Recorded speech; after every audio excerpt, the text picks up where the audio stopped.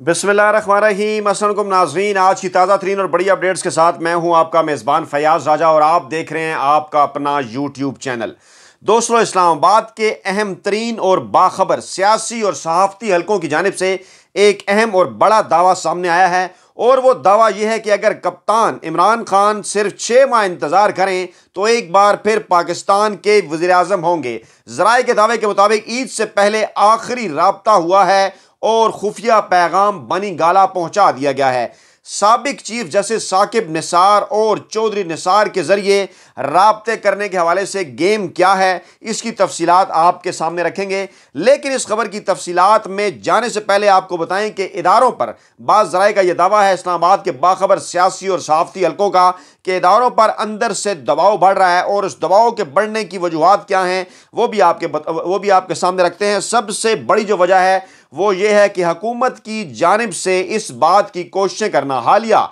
जो इम्पोर्टेड हकूमत है, उनकी जानब से इस बात की कोशिशें शुरू कर दी गई हैं सऊदी अरब को और मुतहदा अरब अमारात को दरमियान में डालकर। जी हाँ जो दोनों शाही ख़ानदान हैं, सऊदी अरब के और मुतहदा अरब अमारात के, उनको पाकिस्तानी इस्टेब्लिशमेंट के साथ रबता करके ये कहा जा रहा है, उन्हें यह कहा गया है कि पाकिस्तानी इस्टेब्लिशमेंट से रबता करें और किसी न किसी तरीके से एक मरतबा। फिर पाकिस्तान का जो सियासी निज़ाम है, पाकिस्तान के जो इंतबात हैं, उसके अंदर नवाज़ शरीफ के लिए कोई जगह निकालने की कोशिश की जाए। और ये कहा जा रहा है कि जिसको एक सियासी हलाला कहा जाना चाहिए कि शहबाज शरीफ जो हैं वो सियासी हलाले के तौर पर सामने आए हैं। ऐसा कहना है इस्लामाबाद के बाखबर सियासी और सहाफ़ती हलकों का, जिसके बाद अदलिया और इस्टेबलिशमेंट के अंदर मौजूद जो बाखबर तरीन ज़राए हैं, उनका यह दावा है कि अदलिया और इस्टेब्लिशमेंट के अंदर ही से इदारों के जो सरबराहान हैं, उन पर यह दबाव बढ़ाया जा रहा है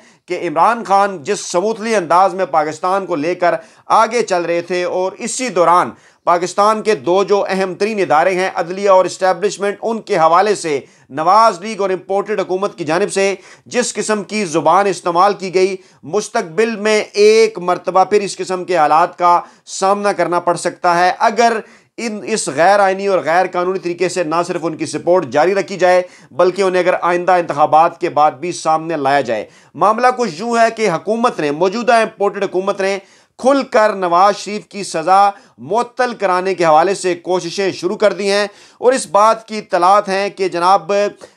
किसी न किसी तरीके से सऊदी अरब और मुतदा अरब अमारात को दरमियान में डालकर पहले नवाज़ शरीफ की वतन वापसी को मुमकिन बनाया जाए और उसके बाद उनको जेल में डालने की बजाय एक नाम नहाद घर के अंदर रखकर उनकी नज़रबंदी की जाए और उसके बाद जो है वो इस नाम नहाद नज़रबंदी के बाद उनकी सज़ा मअतल कराकर, उनकी सज़ा माफ़ कराकर अदालतों के ज़रिए उसके बाद एक मरतबा फिर पाकिस्तानी सियासत के मैदान में उनके लिए गुंजाइश पैदा करने की कोशिश की जाए। इस मनसूबा सामने आने के बाद जराए का यह दावा सामने आया है कि इमरान खान से साकिब निसार और चौधरी निसार के ज़रिए पाकिस्तानी अदलिया और पाकिस्तानी फ़ौज के अहम तरीन लोगों की जानब से इमरान खान से रबता किया गया है और उस रबते के अंदर कुछ दीगर चीज़ें, अवामी दबाव भी शामिल हैं। ख़ास तौर पर यह जो इस वक्त सोशल मीडिया के ऊपर गुजशत तकरीबन दो हफ्तों से, तीन हफ्तों से एक ट्रेंड चल रहा था इम्पोर्टेड हुकूमत नामंजूर, इससे जो है वो लोगों की तवज्जो हटाने के लिए फैसलाबाद के थाना मदीना टाउन के अंदर राना सनाउल्ला की जानब से पाकिस्तान तरीके इंसाफ की क्यादत के खिलाफ झूठे पर्चे दर्ज करवाए गए। उसके बाद राना सनाउल्ला की जानब से यह बयान सामने आना कि इमरान खान फितना है और वो इमरान खान को गिरफ़्तार करना चाहते हैं। इदारों के अंदर मौजूद जो संजीदा हल्के हैं वो इस हवाले से संजीदगी से सोचना शुरू हो गए हैं कि जो मौजूदा इम्पोर्टेड हुकूमत है, वो पाकिस्तान को खाना जंगी की तरफ़ धकेलना चाहती है। उसके बाद इस रबते को जो है वो सामने लाया गया है। ये सहाफ़ती और सियासी जो ज़राए हैं, उनका ये दावा है। इसी दौरान एक वीडियो सोशल मीडिया के ऊपर वायरल हो रही है। वो वीडियो है सबक वफाकी वज़ीर इजाजुल की, जो कि ज़िक्र कर रहे हैं कि जब वो नवाज़ शरीफ की गवर्नमेंट के अंदर भी वफाकी वज़ीर बरए मजहबी अमूर थे तो उनका ये कहना है कि नवाज़ शरीफ की जानब से काल करके उन्हें बाज़ लोगों को हज का कोटा देने के हवाले से कहा गया। जब उन्होंने उन लोगों के हवाले से तहकीक की तो उन्हें पता चला कि ये लोग तो कादयानी हैं। उन्होंने नवाज़ शरीफ को बता दिया कि जनाब, ये काम वो नहीं कर सकते। उसके बाद नवाज़ शरीफ की जानब से फिर उनकी सिफारिश की गई कि आप हज कोटे में इनको हिस्सा दें। और उसके बाद ये भी कहा एजाजुल हक ने कि वो एक मरतबा, जब नवाज़ शरीफ से मिल लेंगे तो नवाज़ शरीफ ने एक मरतबा फिर उन्हें यह कहा कि वो इनको, जो कि ये कादयानी लोग थे उनके मतलब उन्होंने कहा कि इनको हज का कोटा दिया जाए। इस वीडियो के वायरल होने के बाद सोशल मीडिया के ऊपर एक शोर है और ये पूछा जा रहा है कि नवाज़ शरीफ क्यों जो है वो कादियानों को हज का कोटा दिलवाना चाहते थे? और इसके साथ साथ एजाजुल्ला उसी वीडियो के अंदर ये कहते हुए भी नज़र आ रहे हैं कि उन्होंने साफ़ इनकार कर दिया और उन्होंने कहा कि अगर वो ये काम नहीं कर सकते, अगर नवाज़ शरीफ ने कादियानियों को हज का कोटा दिलवाना है तो फिर उनको बदल कर किसी और को वज़ीर लगवा दें। उसके बाद जनाब, हज का जो इस वक्त जो सरकारी खर्च जो है वो सामने आया है, वो जो सरकारी खराज सामने आया है, उसको लेकर भी सोशल मीडिया के ऊपर लोग पूछ रहे हैं, तनकीद कर रहे हैं, क्योंकि जिनको कहा जाता था इमरान खान की हुकूमत को कि वो नाहलों की हुकूमत है, उनके दौर के अंदर यानी नए पाकिस्तान में हज के जो अखराज थे, वो चार लाख अस्सी हज़ार थे, जबकि अभी जो मौजूदा जिस हुकूमत को कहा जाता है कि जनाब ये बड़ी तजर्बाकार हुकूमत है, बहुत कुछ इसका तजर्बा है। इस हुकूमत में, यानी पुराने पाकिस्तान में, हज का जो खर्चा है वह नौ लाख पचास हज़ार हो गया है। यानी तकरीबन दुगना, चार लाख अस्सी हज़ार से बढ़कर नौ लाख पचास हज़ार। तो अवाम इस बात को पूछने में हक बजाने में है कि जनाब, जो एक ऐसी हुकूमत थी जिसके मतलब आप ना तजर्बाकारी का दावा करते थे, वो तो इससे कई गुना सस्ता हज करवा रही थी। इसके साथ साथ जनाब, मफ्ता इसमाइल की जानब से एक ट्वीट जो है वो सामने आया कि एफ़ बी आर ने पाकिस्तान की तारीख के रिकॉर्ड जो हैं वो टैक्स इकट्ठे किए हैं। उसके ऊपर भी फवाद चौधरी ने उन्हें जवाब दिया और लोग भी ये बात करते हुए नज़र आ रहे हैं कि जनाब दिल को ज़रा बड़ा करें और ये एफ़ बी आर का इतनी बड़े अमाउंट के अंदर टैक्स इकट्ठा करना बिलाशुबा पाकिस्तान तरीके इंसाफ की जो रिफॉर्म्स थी और इमरान खान की जो कोशिशें थी, उनका नतीजा था। अब इसी माहौल के अंदर इस खबर का सामने आना इसकी सिग्निफिकेंट को ज़ाहिर करता है कि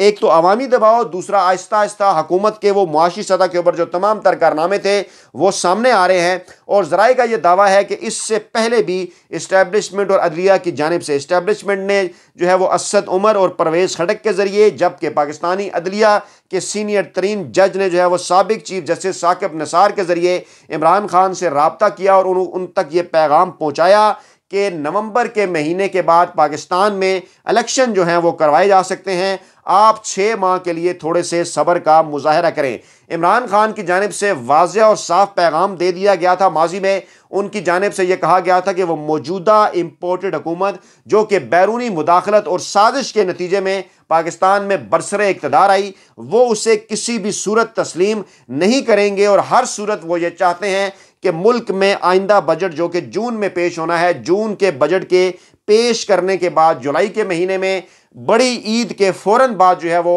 आम इंतबात का ऐलान कर दिया जाए ताकि जो पाकिस्तानी अवाम है वो अपने मुस्तबिल के हुक्मरानों को चुन सकें। इसी दौरान इमरान खान पर मुख्तलिफ़ सतह से प्रेशर बढ़ाने की कोशिशें की गई। इलेक्शन कमीशन ऑफ़ पाकिस्तान की जानब से इस किस्म की खबरें सामने आई कि 2022 के आखिर तक जो है वो इंतबात मुमकिन नहीं। साथ ये भी कहा गया कि महकमा शुमारियात जो है वो अगस्त के महीने में मरदम शुमारी करने जा रहा है और दिसंबर के महीने में उनके नतज जो हैं वो सामने आएँगे। और नतज सामने आने के चार माह के बाद पाकिस्तान में नई हल्का बंदियाँ होंगी और नई हल्का बंदियाँ करने के बाद जो मौजूदा असम्बली की मुद्दत है, अगस्त 2023 तक वो आन पहुंचेगी और उसके बाद जो है वो फिर निगरान सेटअप बनेगा जो कि सितंबर, अक्टूबर में जाकर आइंदा इंतबात कराएगा। इस किस्म का मैसेज दिए जाने के बाद जब इमरान खान की जानब से लॉन्ग मार्च का ऐलान हो गया कि वो मई के आखिरी हफ़्ते में इस्लामाबाद की जानब बढ़ेंगे। तो उसके बाद मैंने आपको पहले भी अर्ज़ किया इसी प्लेटफॉर्म पर कि ये आसाब की गेम है